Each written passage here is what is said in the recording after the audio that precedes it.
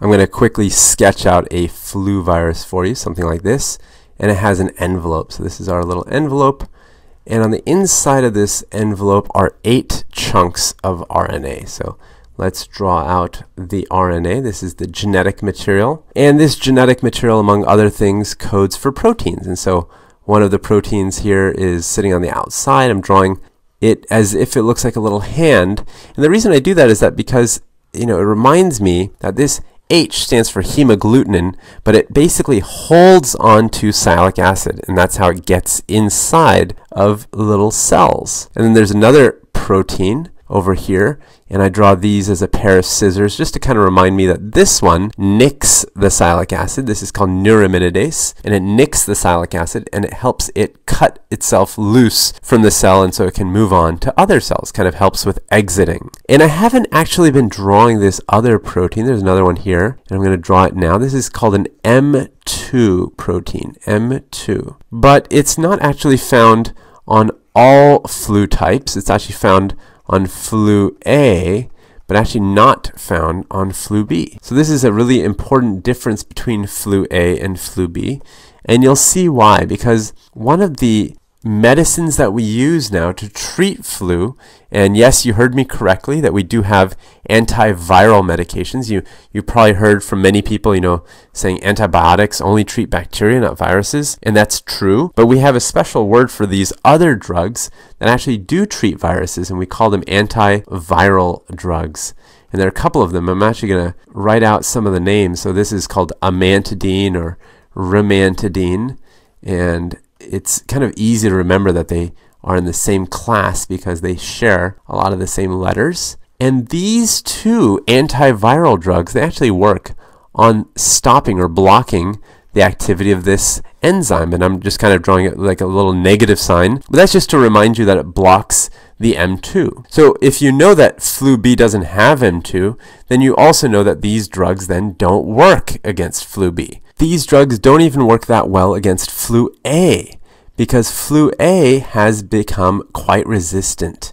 So remember, resistance happens because there are little mutations, and it turns out that flu A has kind of a mutated form of M2 so that it actually doesn't get blocked by amantadine or rimantadine quite so easily. So unfortunately for us, that's bad news. And the CDC in 2012, 2013 have recommended not using these drugs because there's so much flu A resistance. So that's unfortunate, but the good news is that we actually have a couple of other drugs. So we have a drug called oseltamivir, and related to it, and you'll see with the spelling, we have zanamivir. And these, of course, share a lot of the same letters again. And these two actually block the neuraminidase. And this is actually in flu A and flu B. So that's that's good news because it blocks both flu A and flu B. And let me actually just write that down. Flu A and flu B. And that's important, right? So we have these two drugs, and one of them is a pill. This first one is a pill, and the second one is kind of an inhaled powder. So they're taken in different ways. And another important difference between them, and this is something that we have to just kind of keep in mind, is that there are age restrictions. So you have to be a certain age to be able to take these medications, and they differ between the two drugs, and whether you're using it to treat or if you're using it to prevent getting sick from the flu, there's a difference there too. So there are age restrictions that we just have to keep in mind. But overall, you know, I'm pretty happy with the fact that at least we have these options if we need to treat someone that's very sick from the flu. So let's talk about that treatment then. So what what if you have someone and this happens to me all the time where someone comes in kind of frowny faced because they're sick with the flu and you're thinking, okay, well this person obviously needs treatment. So I'm going to write that at the top. They need some sort of treatment. And I guess the first question is why would I treat this person? Of course, everyone's going to be frowny faced if they get the flu. So why am I treating this person? What makes them so special? Well, one thing that could make them special is let's say that they're high risk. Remember, high risk groups in our society, in our community, include real young kids, so let's say under two years old, or older folks, let's say people over 65 years old. It could be uh, someone that's pregnant. That's another high risk group or it could be someone that has some sort of chronic disease. and that could be like a lung disease, like or asthma, you know, any sort of chronic disease that makes them ill. Maybe their immune system isn't working. And that would be a group I would definitely consider treatment for. Now, another group, I'm going to put it just right below, is let's say you have someone that's completely healthy, you know, young, healthy person, uh, not pregnant. They still might get treatment if, you know, there's, you know, maybe let's say severe disease. Let's say they get really, really sick. You know, they're just feeling awful and, you know, I'm worried about them and they might need to be hospitalized. You know, if they're very, very sick or they get some sort of complication uh, or they're going to get hospitalization, anything like that, then this is a person, again, I would be uh, careful with and I would consider treatment. Let me bring up a little bit of space. So this is the kind of group that I would definitely consider treatment in. So what else should we think about or consider? Well, the next question often that comes up is how soon do you need to start treatment? You know, when do you need to begin treatment? or when do you start? And of course, the, the answer is going to be well, as soon as possible. But uh, a bigger range on that would be within two days. So, really, if they've started getting symptoms, let's say a week ago, I might still be inclined to treat them, but I'd be more inclined if it had just started. What other questions or considerations should we just kind of go through? What about treatment? So, how long do you treat them for? And generally speaking, it's about five days. So five days of either oseltamivir or zanamivir. And sometimes it goes a little bit longer, but usually it's just five days. That's kind of a normal course. So this is how I would manage someone that's being treated for flu. But of course, what if what if they're not being treated for it? What if they come in and they're feeling fine? Let me actually draw another face here. This is a smiley face, something like that. And I'm actually going to draw two. So let's say there's two, and we're going to deal with them separately. So let me actually draw a line between them, something like this. So we've got two more cases.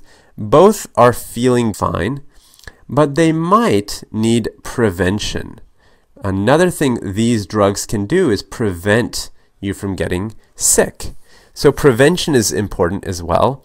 And let's say these folks are living in a home. Let me actually build a little nice house around my first smiley faced person.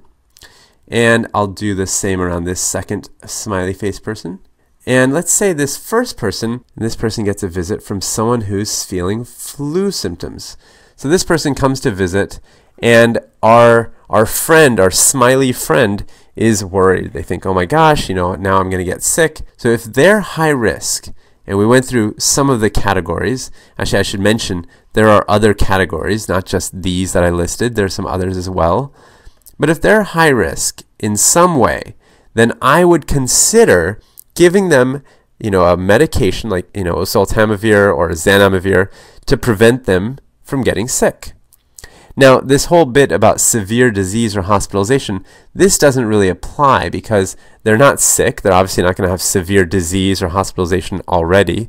What about this question of when would I start treatment? Well, ideally, again, it's going to be within two days. So within two days of their exposure.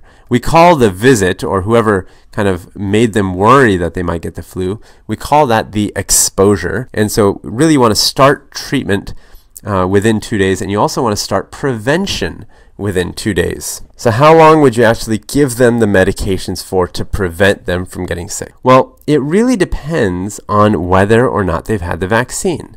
So, let's say they've had the vaccine, the flu vaccine, and they were high risk, they got visited by someone or had an exposure.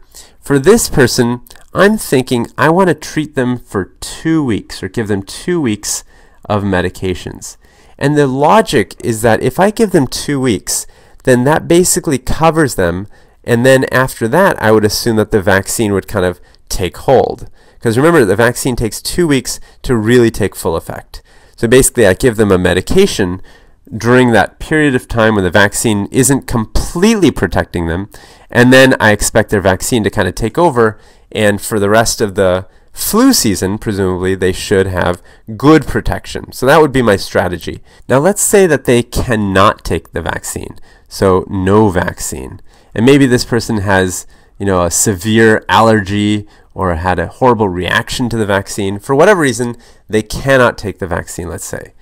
Well, in this person, if they can't take the vaccine or don't have the vaccine, then for this person, I would actually treat them for just one week. One week after the exposure. So if the exposure happened, let's say, you know, today, I would basically, and then let's assume it's not going to ha keep happening. So one week after exposure would then make it next week is when I would stop the medication. So in this scenario, I'm protecting them with the medication against getting sick from this exposure. But because they've had no vaccine, if they have ongoing exposures, let's say you know they get exposed again to flu, let's say in three weeks, then again they'd have to come back to me we'd have to do this all over again. So it really is ideal to have that vaccine in your system to keep protecting you and preventing you from getting ill. Now in this second scenario, let's say instead of having a visitor who's sick, let's say you've got people around you that are sick, living in the same place as you. Now this person is, you know, obviously in a home with a group of folks, so let's call that a group home. And what we call this scenario is basically an outbreak. So this person is living in an outbreak setting.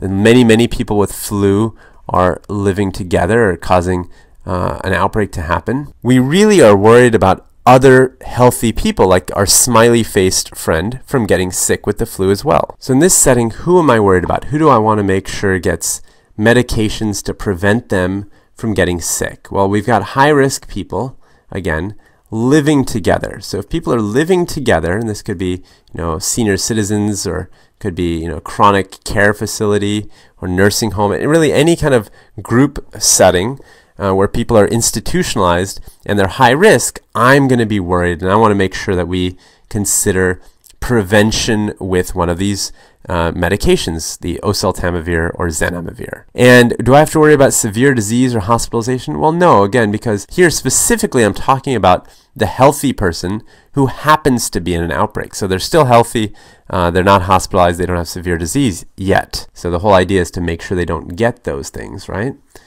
And when would I want to treat them? Well, it's hard to really say within two days because that implies that something specific is happening. When in fact, during an outbreak, you just have constant exposure, right? I mean, everyone around you is sick. You know, let's say you go down to eat in the cafeteria, everyone is sick.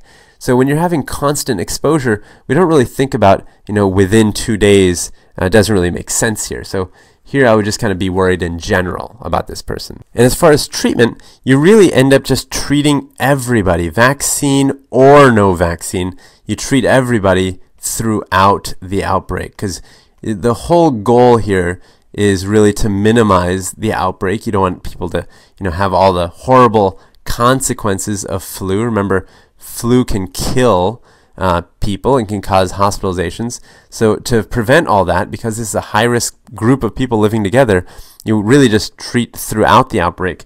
And even one week after, one week after the last case of flu is found, after the last case. So here, unlike the scenario where you have just a single exposure because you have so many people in an outbreak that are sick and kind of exposing each other, you basically just treat everybody with oseltamivir or zanamivir. So now you see we have a, a couple of antiviral drugs and you see when we can use them to treat folks and also when we can use them to prevent folks from getting sick.